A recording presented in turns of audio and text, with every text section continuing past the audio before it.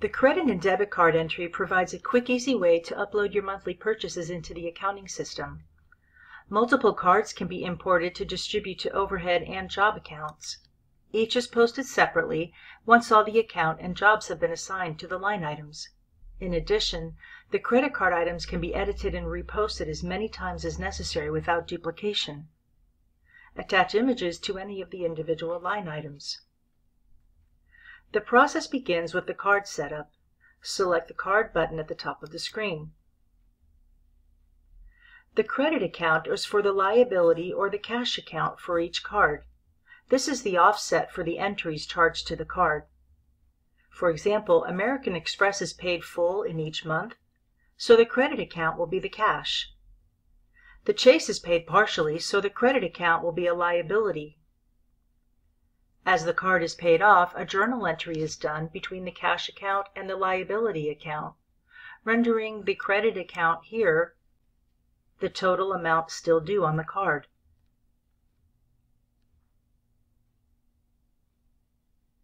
Enter the card name and an abbreviated name for the card.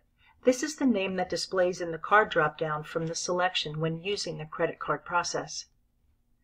The CSV format is selected for the proper card, and this determines how the downloaded file will be formatted. If you don't see your card in the list, we can create a format for the specific card needed.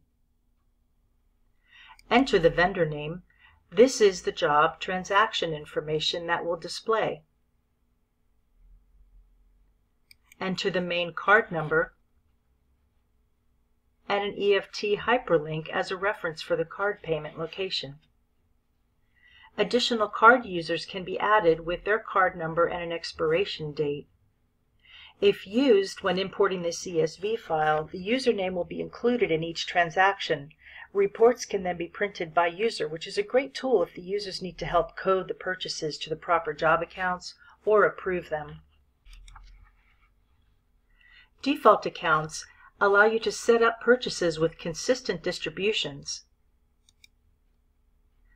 For example, ePass, meals, and gas vendors may consistently be charged to the same code. The charges come in with the same vendor name and then a different authorization code. Type as much of the consistent portion as you like, and then the code that normally applies to the charges. The distribution will then automatically be added during the import of the CSV file, but can be edited if needed. If you find a vendor on your card for that month that has several items and they all go to the same place, you can still add the default account and when you close this item, it will update each transaction with that account number. So let's import a CSV file. First of all, the month-end date is important in that the CSV file and the information on it will be dated with the month-end date for financial purposes. And the system does alert you on the way in of the date that will be used. You can always cancel and change the date on the main accounting screen. Or if it's already been imported, you can delete it and then change the date and re-import that file.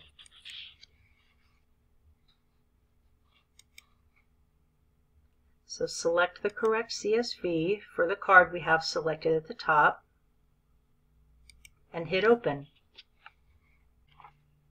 You'll notice that there are several line items already coded and these are the items we have set up in the default accounts.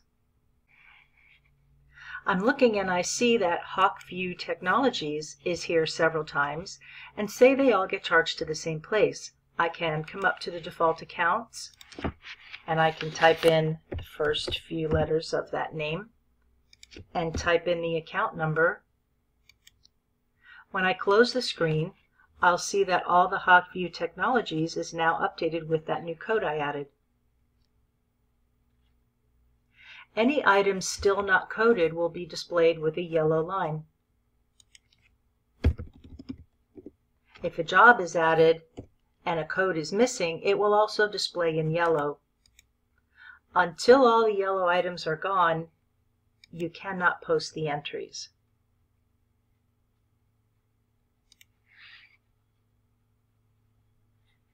Let's move to one that's already finished. So we'll look at our American Express here.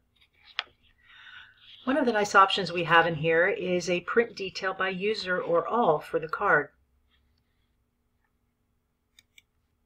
I can print all the transactions It does split it out by user, but every user is included on this report along with my grand total and a total per user. Or I can print for a single user this is handy if the card users are the ones that are helping with the coding or if they need to approve specific line items. This report can be saved or it can be emailed directly to the user.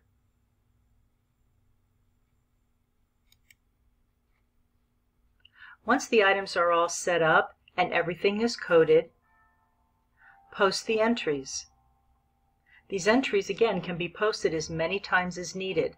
They don't go away once they're posted. I can always recall my information for the month and date selected.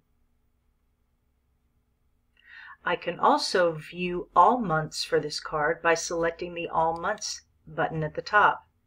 Now I can see multiple month-end dates. If you're searching for something that may have happened in a previous time period, that's a good tool to use you can then filter for specific items.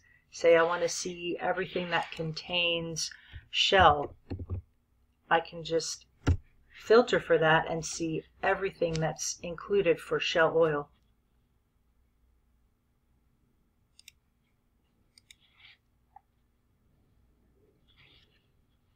Images can be added to any line item by hitting the Add PDF and browsing for the proper folder.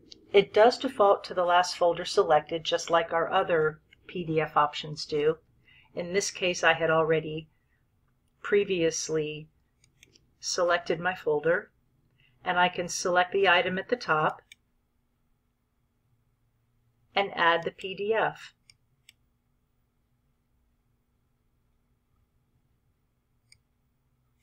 Once PDFs are added, it will display the amount of images associated with the line item. Another option we have is the ability to tag a vendor if the line item needs to show on their 1099. Because this is not a payment through AP checks, which is normally where the 1099 information is pulled from, you can enter a vendor on the 1099 vendor line and these dollar amounts will be included in addition to the checks paid for that year on the 1099.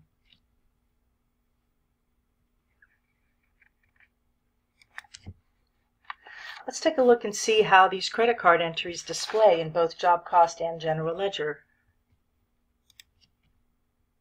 If we browse GL transactions, one helpful item is the source. Anytime you have access to the source, which is normally on a browse transactions or a browse job cost transactions, I can see that my source of CC is for my credit card entries. So if I filter just for credit card entries, I can see the detail on each account.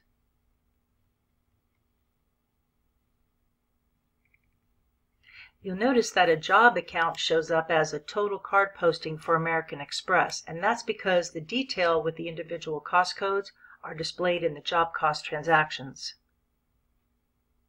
So let's take a look at that. If I browse transactions for a specific job, again I can go to the source and take a look at just credit card entries. And now I can see not only who my vendor was, specifically, and this is coming from your card transactions, I also see that it came from my American Express. So in the past, by entering these as invoices, you basically saw American Express on your job reports. Now you'll be able to see the actual vendor and a reference to the card it was paid with. Give us a call if you should have any additional questions or would like to have a specific CSV file formatted for your card.